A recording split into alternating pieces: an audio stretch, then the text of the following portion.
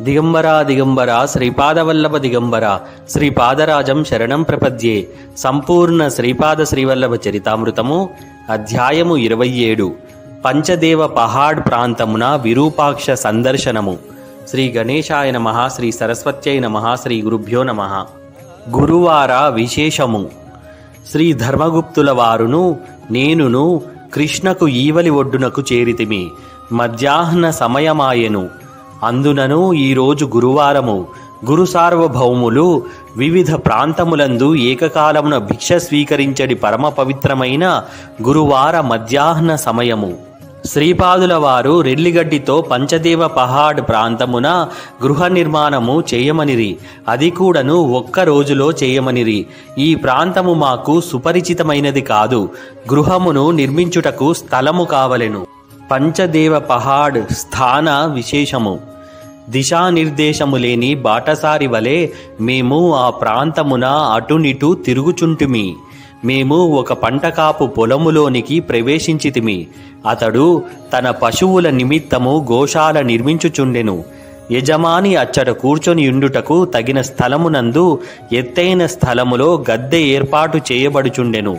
ఆ స్థల యజమాని మమ్ములను సాదరముగా ఆహ్వానించి భోజనమిడెను. మేము ఆకలి గొనియున్నాము శూద్ర భోజనము చేయవచ్చునా లేదా యను సందేహములో ఉన్నాము. ఆ యజమాని ఓహో మా పశువులను దొంగిలించి వేరు ప్రాంతములందు అమ్ముకొని తిరిగి ఇచ్చట పశువులు ఏమైనా ఉన్నవేమో తోలుకుపోవుదమని దుర్బుద్ధితో వచ్చిన మీకు శూద్రభోజనము చేయవచ్చునాయని విచిత్రమైన సందేహము కలిగినదే అని మాతో కరుకుగా సమాధానమిచ్చెను.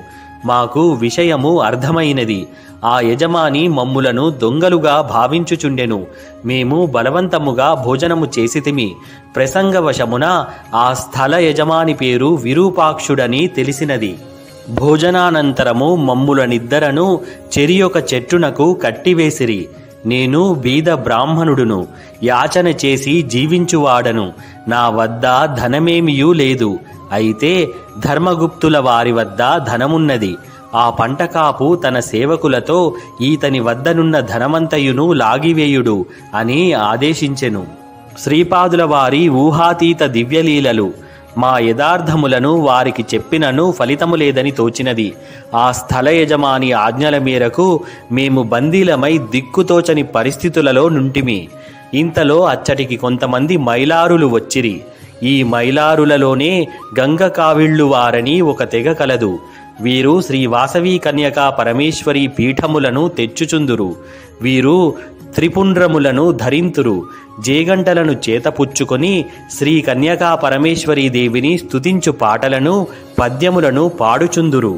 ఈ గంగ కావిళ్ళ వారు బిందెలను కావిళ్ళయందు ఉంచుకొని వివాహాది శుభకార్యములప్పుడును శ్రీ వాసవీమాత జయంతి సందర్భములప్పుడును వచ్చుచుందురు. వీరుగాక వీరముష్టులు అనువారు ప్రభలను కటిభాగములందు కట్టుకొని జయ జయ ధ్వానములతో జయగంటలను చేతులందు ధరించి వచ్చుదురు. ఆ ప్రభలయందు ఖడ్గములు కవచములు ఇంకను ఎన్నో విధములైన రణరంగ చిహ్నములు కనిపించుచుండును. ఆ ప్రదేశమునకు మైలారులతో పాటు వీరముష్టులు కూడా వచ్చిరి. విష్ణువర్ధన మహారాజు సైనికులు శ్రీ వాసవీమాత భక్తులైపోయి బాలానగరులతో కలిసి విష్ణువర్ధనుని విధేయ సైనికులతో యుద్ధము చేసిరి. శ్రీ వాసవీమాత భక్తులైన ఆ సైనికుల కుటుంబములలోని వారిని వీరముష్టులందురు. ఆనాడు వారు తమ ధన మాన ప్రాణములను పవిత్ర యుద్ధమునకు ధారపోసిన కారణమున శుభకార్యములందు వారిని వైశ్య ప్రభువులు సత్కరించుచుందురు. ఆ పంటకాపు మైలారులకును వీరముష్టులకును భోజనము పెట్టించి సత్కరించెను. ఆ తదుపరి మమ్ములను విడిపించి గోశాల నిర్మాణములో పాలు పంచుకోవలసినదని కోరెను. మేము వల్లేయంటిమి పని అంతయును అయిన తదుపరి విరూపాక్షుడు నన్ను ఇట్లు ప్రశ్నించెను. ముష్టిలో ముష్టి వీరముష్టి అనినా ఏమో తెలియునా అని ప్రశ్నించెను. నాకు తెలియదంటిని. మాకు సాయంత్రము కూడా భోజనము పెట్టబడెను. ఆ రాత్రికి మేము అక్కడనున్న గోసంపదను కాపలా కాయచు అచటనే పండుకొనవలనని శాసించెను. తదుపరి తన సేవక బృందముతో అతడు వెడలిపోయెను.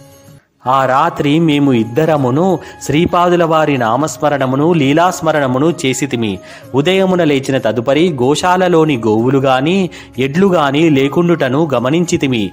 ఆ చుట్టుప్రక్కల నుండు పంటకాపులు ఈ భూమిని ఎంత ధరకు కొనియుంటిరని అడిగిరి. మేము నిన్న సాయంత్రము జరిగిన విషయములను చెప్పితిమి. వారు మేము చెప్పు విషయములను నమ్మక మమ్ములను పిచ్చివాళ్ళుగా లెక్కవేసిరి. ఏది సత్యము? ఏది అసత్యము అని తేల్చలేని విషయమై ఉండెను. ఇంతలో ఒక ఆగంతకుడు వచ్చెను. శ్రీ వాసవి కన్యక వైశాఖ శుద్ధ దశమి నాడు జన్మించినదా? సప్తమి నాడు జన్మించినదా? అని ప్రశ్నించెను. శ్రీ ధర్మగుప్తుల వారు శ్రీ వాసవి మాత దశమి నాడే జన్మించినదనియు దశమి నిండు తిథి అనియు ఆనాడు శుక్రవారమనియు సెలవిచ్చిరి. ఈ జవాబు విన్న వెంటనే మీ ఇద్దరు పిచ్చివాళ్ళు కురుంగడ్డలో పనీపాట లేకుండా కూర్చొనియున్న ఆ పిచ్చివాని వద్దకు పోవుచున్నారా అని ప్రశ్నించెను. ఆ ఆగంతకుని ప్రవర్తన మాకు అభ్యంతరకరముగానున్నది. శ్రీ ధర్మగుప్తులు ఇట్లనిరి. ఆ ఆగంతకుడు అభ్యంతరకరముగా మాట్లాడినను మనకు కర్తవ్యమును బోధించినాడు. మనము వెంటనే కురుంగడ్డకు పోవలెను. మేము పడవలో కురుంగడ్డకు ప్రయాణమైతిమి. పడవ వానికిచ్చుటకు నా వద్ద గాని శ్రీ ధర్మగుప్తుల వారి వద్ద గాని ధనమేమియునూ లేదు. ఆ పడవవాడు ఇట్లనెను. ప్రస్తుతము నేను మిమ్ములను క్షమించి వదిలివేయుచున్నాను. పడవ నిక్కుటకు ముందే మీ వద్ద ధనమున్నదో లేదా తెలుపవలసిన ధర్మము మీ వద్ద ఉన్నది. పడవవాని దృష్టి ధర్మగుప్తుల వారిపై బడెను. వారి చేతుకున్న ఉంగరములను పడవవాడు తీసుకొని వైచెను. ఉంగరములను అతడు తన వద్ద ఉంచుకొనక కృష్ణలో పారవైచెను. మేము కురుంగడ్డకు చేరితిమి. శ్రీపాదుల వారు కృష్ణలో స్నానము చేసి వచ్చి యోగనిష్టలో నుండిరి. కొంతసేపటికి వారు కనులు తెరచిరి. మమ్ములను చూచి మందహాసము చేసిరి. పంచదేవ్ పహాడునందు దర్బారు చేయుటకు తగిన గృహ నిర్మాణమును చేసితిరా అని అడిగిరి. గత దినమున జరిగిన విషయములను మేము వారికి విన్నవించితిమి. నాయనలారా నా సంకల్పము లేనిదే నా వద్దకు ఎవరునూ రాలేరు. నా సంకల్పము లేనిదే ఎవరికిని నా ఎందు భక్తి కుదరదు. ఎంతటి ధనవంతునైనను క్షణంలో దరిద్రునిగా మార్చగలను. ఎంతటి దరిద్రునైనను క్షణములో ధనవంతునిగా మార్చగలను. పిచ్చివానిని స్వస్థుడుగా చేయగలను. నిండు స్వస్థతతో ఉన్న వానిని పిచ్చివానిగా మార్చగలను. సమస్త శక్తులను సమస్త సిద్ధులను నా కరస్థమై ఉన్నవి. నిన్న మీకు కనిపించిన పంటకాపు శ్రీ వాసవి కన్యక యొక్క సోదరుడైన విరూపాక్షుడే. మీరు చూచిన గోసంపద అంతయును ఆనాడు శ్రీ కుసుమశ్రేష్ఠి ఇంట నుండి గోవులే. మీరు చూచిన మైలారులు వీరముష్టులు అచ్చముగా ఆనాటివారే. మిమ్ములను గద్దించి మాట్లాడి కురుంగడ్డకు పోవుచున్నారా అని హేళన చేసిన ఆగంతకుడను నేనే. పడవవానిగా వచ్చినది నేనే. ధర్మగుప్తుని వద్దనున్న ఉంగరములను తీసుకొని కృష్ణానదిలో పడవైచినది కూడా నేనే. నా యొక్క దర్బారును మైలారులు వీరముష్టులు వీరభద్రుడు వాని అనుచరులు నిర్మించినారు.